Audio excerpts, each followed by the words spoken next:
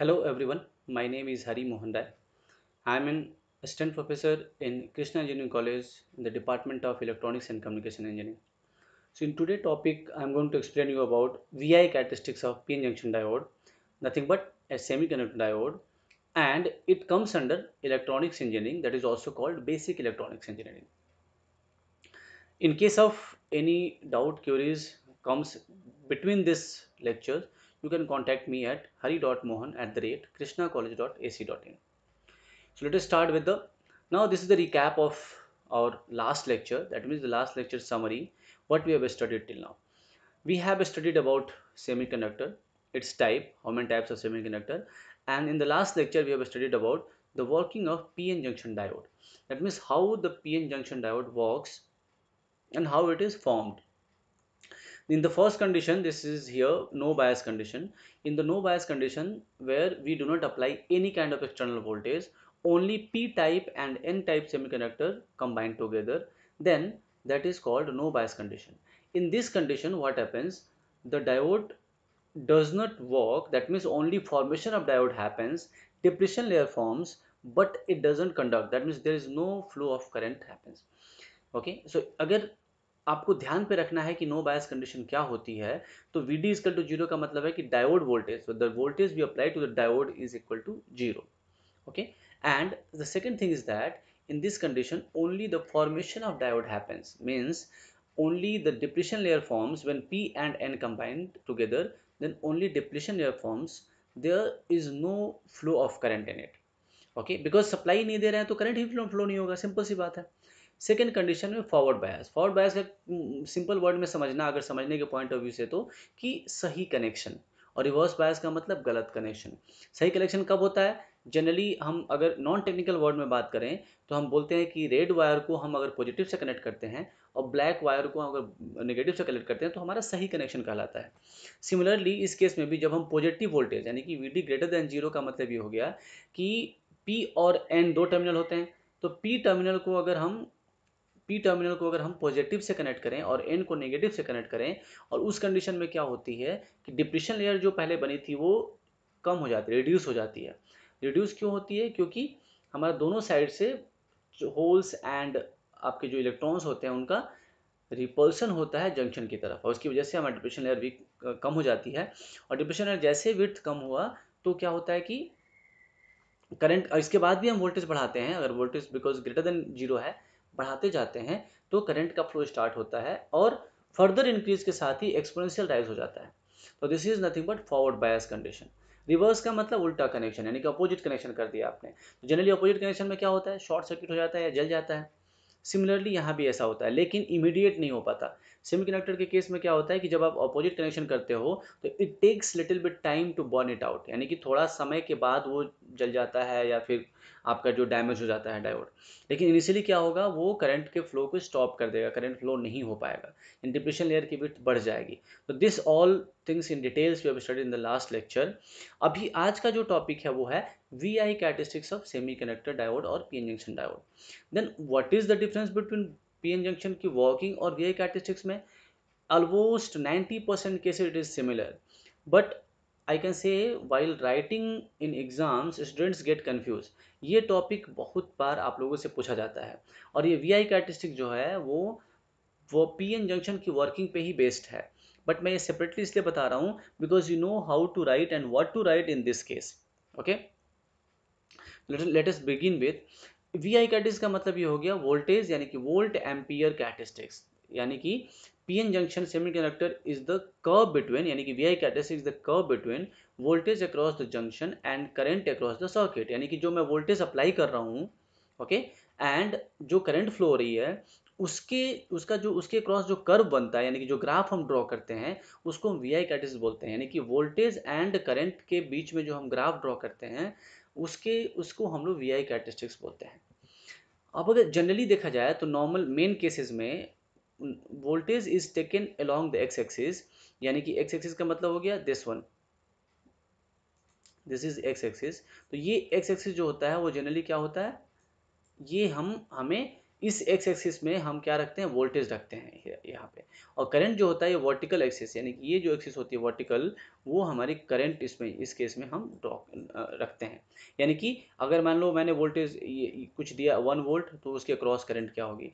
अगर मैंने वोल्टेज दिया टू वोल्ट उसके क्रॉस करंट क्या होगा? अगर मैंने वोल्टेज दिया तीन वोल्ट उसके क्रॉस करंट क्या होगा? तो दिस इज़ नथिंग बट ये ग्राफ ड्रॉ होता है कुछ जो भी है। एंड इस जो भी ग्राफ हमारा मिलता है, उसको हम बोलते हैं V I characteristics of a P N junction diode वो कैसा होता है? कैसे वर्क करता है? दैट हम लोग देखेंगे।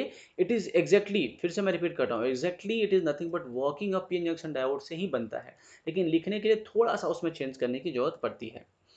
अब जो कैरेक्टरिस्टिक्स है, उसमें भी यही तीन केस होते हैं, जो अभी हमने पढ़ा नो बायस कंडीशन यानी कि zero bias forward bias and reverse bias जैसा कि हम लोग पहले से भी जानते हैं कि ये टू टर्मिनल डिवाइस डिवाइस है तो ये जो है, इसकी थ्री पॉसिबिलिटीज़ बनती है। जब हम ज़ीरो वोल्टेज अप्लाई करते हैं, यानी कि ज़ीरो बायस उस कंडीशन में, इसके बाद फॉरवर्ड बायस जबकि हम पॉजिटिव वोल्टेज अप्लाई करते हैं, और रिवर्स बायस जबकि हम नेगेटिव वोल्टेज अप्लाई करते हैं। तो इन तीनों कंडीशन के ऊपर में हम V I characteristics of semiconductor diode के बारे में हम देखेंगे। पहला है ज़ीरो बायास। ज़ीरो बायास, फिर से मैं बोल रहा हूँ, ज़ीरो बायास का मतलब क्या हो गया? नो बायास, यानी कि no external supply is applied. Okay, दूसरी बात ये कि हम यहाँ पे वर्किंग को कम फोकस करके हम वी आई कैरेक्टरिस्टिक्स यानी कि ये वोल्टेज एंड करेक्ट जो करंट जो कैरेक्टरिस्टिक्स है, उसके ऊपर ज़्यादा फोकस करेंगे। Okay okay? और कोशिश करेंगे रिलेट करने की, जो हमने अभी वर्किंग पढ़ी है। लेट सी तो हमने वर्किंग में भी ये चीज़ देखी थी कि इसको हम ज़ीरो बायस कंडीशन का मतलब क्या हो गया कि no external voltage is applied. Okay no external voltage is apply का मतलब ये हो गया कि हम कोई भी एक्सटर्नल सप्लाई नहीं दे रहे हैं।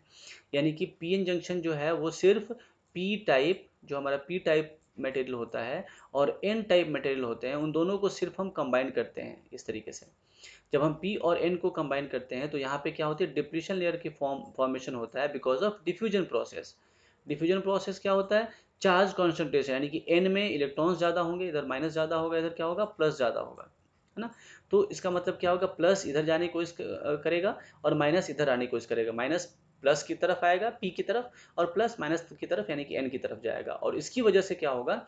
आपस में रिकम्बिनेशन होंगे। इस प्रोसेस को हम लोग क्या बोलते हैं? डिफ्यूजन प्रोसेस बोलते हैं। यानी कि हाई कॉन्सेंट्रेशन से लो कॉन्सेंट्रेशन की तरफ़ चार्ज का जो मूवमेंट होता है फ्लो होता है बिना विदाउट एनी एक्सटर्नल सपोर्ट उसको हम लोग डिफ्यूजन प्रोसेस बोलते हैं।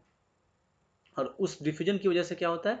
डिप्रेशन लेयर की फॉर्मेशन हो जाती है। और इस डिप्रेशन डिप्रेशन लेयर क्या करता है?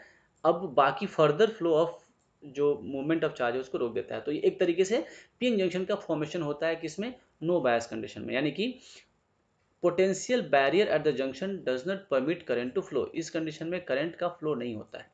तो ये तो एक लाइन हो गई कि जी ज़ीरो बायस कंडीशन में मात्र दो, एक से दो लाइन लिखना है आपको कि zero bias condition, no external voltage is applied to the PN junction और ये एक तरीके से द सर्किट इज़ ओपन, यानी कि ओपन सर्किट की तरह बिहेव करता है। ओपन सर्किट का मतलब क्या है? इस तरीके से। अगर मैंने यहाँ पे सप्लाई दिया और यहाँ पे सब मतलब कुछ नहीं दिया तो बिल्कुल यहाँ पे ब्रेक जैसे हो गया, इसको हम ओपन बोलते हैं, यानी कि कनेक्शन ब्रेक है। जब कनेक्शन ब्रेक होगा तो कोई कनेक्ट नहीं फ्लो होगा, ओके? जब हम कनेक्शन को हम कम ज्वाइंट करेंगे सप्लाई देके तो ये क्या होगा काम करना शुरू हो जाएगा। तो पहले कंडीशन में no supply is given P N junction is work as a open circuit and potential जो इसके क्रॉस जो डेवलप होता है वो करंट को फ्लो करने का अलाउ नहीं करता यानी कि नो करंट फ्लो ओके इसके बाद हम आ, देखेंगे कि इसमें इस सर्किट में अगर एक लाइन में हमें लिखना है तो लिखेंगे current is zero at V equal to zero और ये जो है हम इसको हमें यही लिखना है, हमें इसी तरीके से लिखना है as indicated by point O in figure below यानी कि जो ये पॉइंट है, ये O point you can see out here जिस रेड पॉइंट से ये जो ओ पॉइंट है ओरिजिन दैट मीन्स ओरिजिन जो है, वो हमें डिनोट करता है ज़ीरो बायस कंडीशन को, क्योंकि ओरिजिन पे हमारा करंट फ्लो नहीं हो रहा होता है और यहाँ पे वोल्टेज भी ज़ीरो है. तो वी इजकल टू ज़ीरो और ये जो हमारा ओरिजिन है, वो हमारे करंट के फ्लो को क्या करता है? ज़ीरो दिखाता है और यही ज़ीरो बायस कंडीशन है, यानी कि it is denoted by O in the figure below this is the V I characteristics of a V I complete V I characteristics of a P injection diode जहाँ पे कि इधर volt और इधर current है, लेकिन जो हमारा नो ज़ीरो बायस कंडीशन है, ये ये पॉइंट जो ओ पॉइंट यानी कि ओरिजिन है, उसको हम ज़ीरो बायस कंडीशन को रिप्रेजेंट करते हैं। अब आते हैं हम फॉरवर्ड बायस की तरफ़। सेम वर्किंग यहाँ भी है फॉरवर्ड बायस के लिए हम क्या करते हैं? फिर से एक बार मैं रिकॉल करने की कोशिश कर रहा हूँ आपको। पी को, यानी कि अगर मैं इस तरीके से बनाया, ये बीच में पी और एन हो गया, इधर हमने पी रखा एंड इधर एन रखा, है ना? तो पी टाइप मटेरियल और एन टाइप का मटेरियल यानी कि पी एन जंक्शन जो डायोड था, उसको हमने पी पॉजिटिव को पॉजिटिव से कनेक्ट कर दिया, यानी कि पी को पॉजिटिव से कनेक्ट कर दिया और एन को हमने क्या किया? निगेटिव से कनेक्ट किया। यही होता है। तो इसको हम लोग क्या बोलते हैं? फॉरवर्ड बैस तो ये एक लाइन में हमें ये लिखना है कि फॉरवर्ड बैस का मतलब है कि हम एक्सटर्नल वोल्टेज सप्लाई देते हैं, जहाँ पे कि बैटरी का पॉजिटिव टर्मिनल पी से और बैटरी का नेगेटिव टर्मिनल माइनस से, यानी कि कनेक्ट होता है। इसको हम लोग बोलते हैं फॉरवर्ड बैस कंडीशन ठीक है? और इसकी वजह से क्या होता है, जो डिप्रेशन लेयर हो जाती है, वो रिड्यूस हो जाती है रिड्यूस डिप्रेशन लेयर क्योंकि यहाँ पे चार्ज का रिपल्सन होता है और रिपल्सन की वजह से कुछ चार्ज यानी कि कुछ जो जंक्शन के चार्ज हैं चार्ज के इन द सेंस ऑफ़ आपके जो आयंस हैं वो न्यूट्रलाइज हो जाते हैं और ये डिप्रेशन लेयर क्या होती है वो आ, कम हो जाती है यानी कि रिड्यूस हो जाती है। और अगर मैं फर्दर और ये फॉरवर्ड बायस का डिस्ट्री में ये भी कह सकते हैं कि अगर जो डिप्रेशन लेयर का ये रिड्यूशन रिडक्शन हो रहा है मान लेते हैं कि मैंने यहाँ पे कुछ 0.1 वोल्ट या 0.2 वोल्ट या 0.3 वोल्ट कुछ इस तरीके से मैंने सप्लाई दिया तो उस कंडीशन में क्या हुआ? ये वोल्टेज में सिर्फ़ डिप्रेशन लेयर का रिडक्शन हुआ। और उसको हम कहाँ से कहाँ से कहाँ के बीच में दिखा रहे हैं?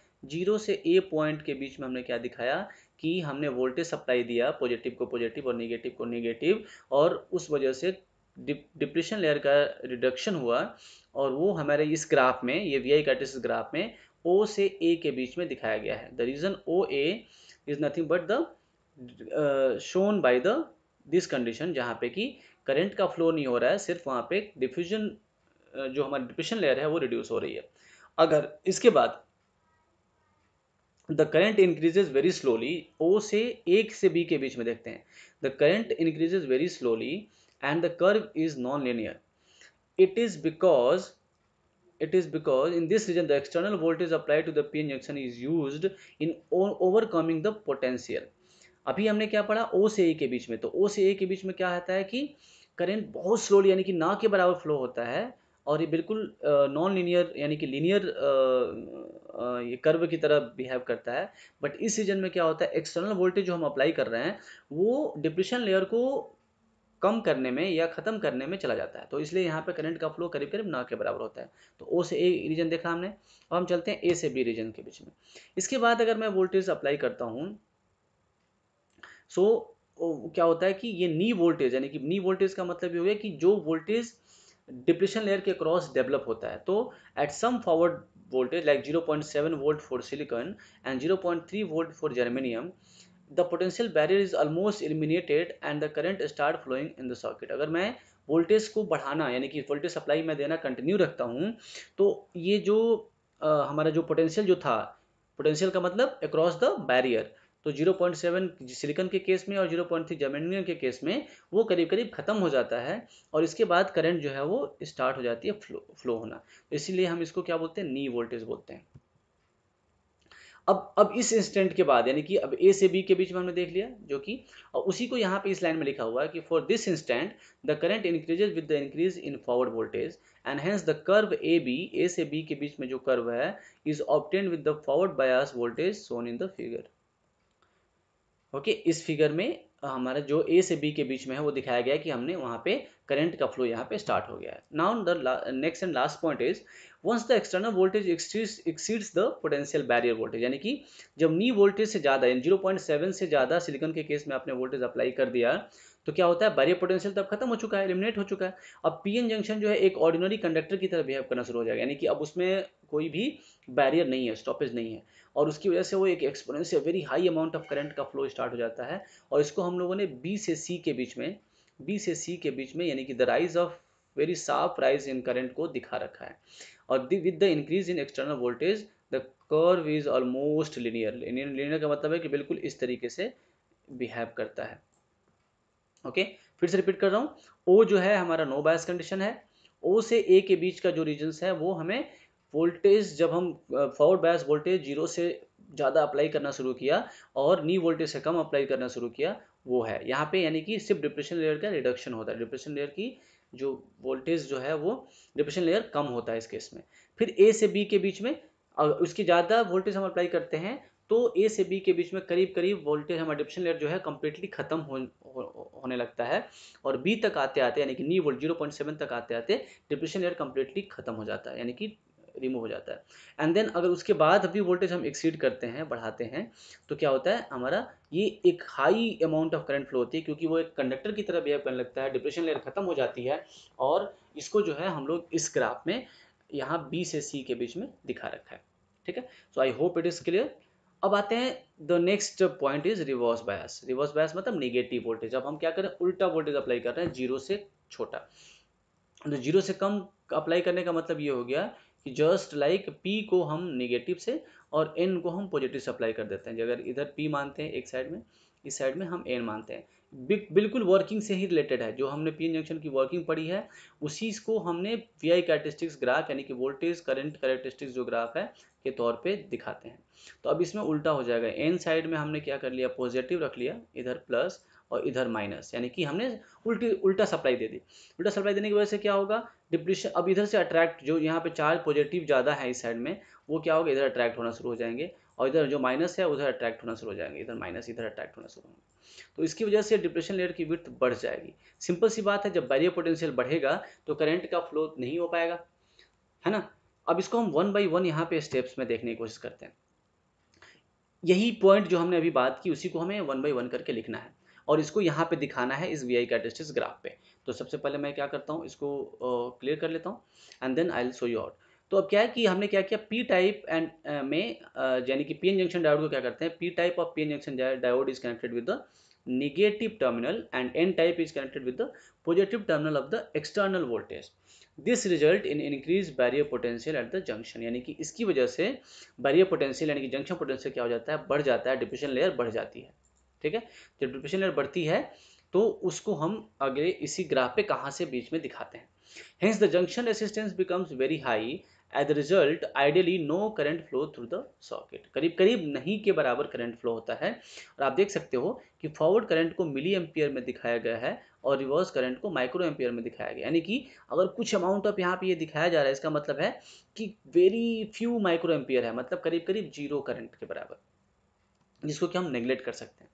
तो इसलिए यहाँ पर लिखा हुआ है a very small amount of current in order of micro ampere flows through the circuit in practice यानी प्रैक्टिकली अगर हम वोल्टेज हम सप्लाई देते हैं रिवर्स बायस में तो डिप्रेशन लेवल बढ़ जाती है। और लेकिन प्रैक्टिकली देखा जाए तो कुछ few micro ampere current flow होती है बट आइडियली नहीं नो करंट फ्लो होती है ना?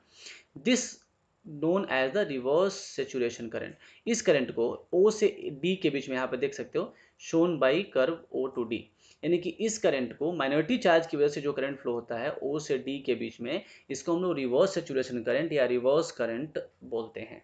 ठीक है? नेक्स्ट पे चलते हैं। In reverse bias apply to the P junction act as a forward bias to the minority carrier and hence a small current flow in the reverse direction इसी चीज़ को दोबारा हमने रिपीट किया हुआ है कि अगर हम आ, क्यों करंट फ्लो होता है इसमें? क्योंकि अगर हम सप्लाई देते जाते हैं तो पी साइड में माइनॉरिटी क्या होता है? इलेक्ट्रॉन्स होते हैं और एन साइड में माइनॉरिटी क्या होता है? होल्स होते हैं। तो जो हमने अपोजिट सप्लाई दिया हुआ है, वो इन माइनॉरिटी को क्या करता है? रिपेल करता है। और उसकी वजह से जब हम हाई वोल्टेज अप्लाई करते हैं तो जंक्शन को क्रॉस करने लगते हैं और उसकी वजह से very small amount of current flow हो पाती है, जिसको कि रिवर्स करंट बोलते हैं। तो अगर हम सिंपल वर्ड में बोले तो हमने क्या किया? अपोजिट कनेक्शन दिया एन को पी को पी को एन से। अब इसके बाद क्या हुआ? डिप्रेशन लेयर की विर्थ काफ़ी ज़्यादा बढ़ गई सेकेंड पॉइंट में।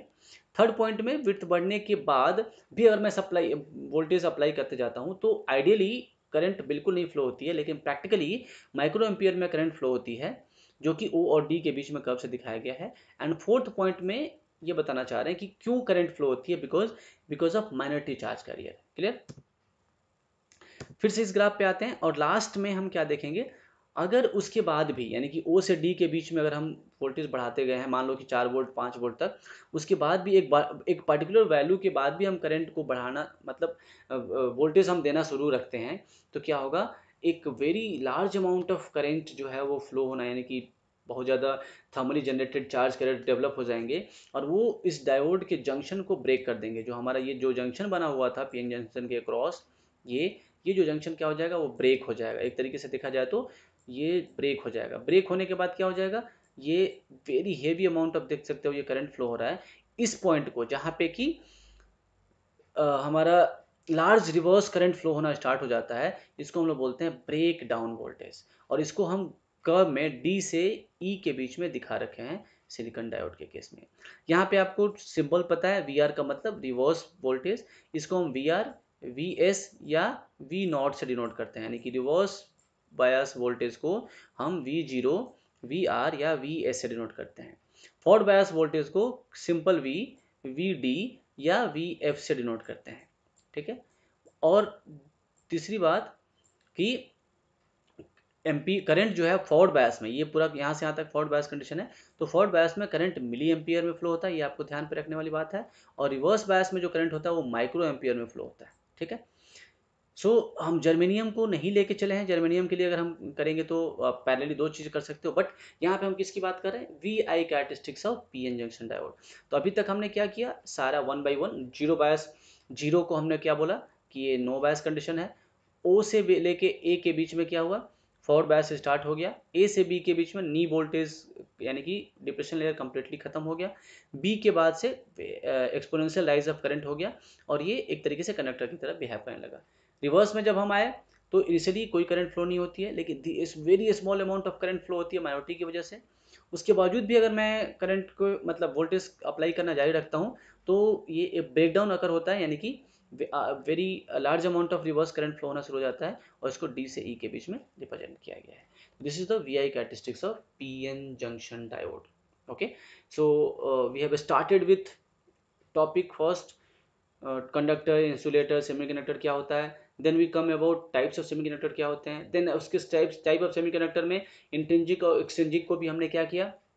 दो पार्ट में पढ़ा। एक्सचेंजिक को भी हमने दो पार्ट में पढ़ा। N type and P type N type और पी टाइप को हमने पढ़ा कि एन टाइप क्या होता है पी टाइप क्या होता है। देन उन दोनों को कंबाइन करके क्या बनाया? डायोड बनाया। डायोड एक क्या होता है? एक ऑटोमेटिक स्विच होता है, जो कि depending upon positive and negative supply काम करता है। और इसके बाद हमने उसकी वर्किंग पढ़ी कि पीएन जंक्शन कैसे वर्क करता है? और उसी से रिलेटेड एक एक्स्ट्रा टॉपिक पढ़ा जो कि बोलते हैं V I characteristics of P N junction diode generally books में या जनरली जब टीचर हम क्लास में पढ़ाते हैं तो इन दोनों को कंबाइंडली पढ़ाते हैं बिकॉज़ दोनों एक दूसरे से रिलेटेड है पीएन जंक्शन की वर्किंग और इसका कैरेक्टरिस्टिक्स या दोनों को कम्प्लीटली एक टॉपिक मान के चलते हैं. But here because many times V I characteristic diode separately पूछा जाता है एग्ज़ाम में. That's why I have given more preference to this one कि V I characteristic of diode को आपको कैसे लिखना है क्या क्या चीज़ों पर फोकस करनी है.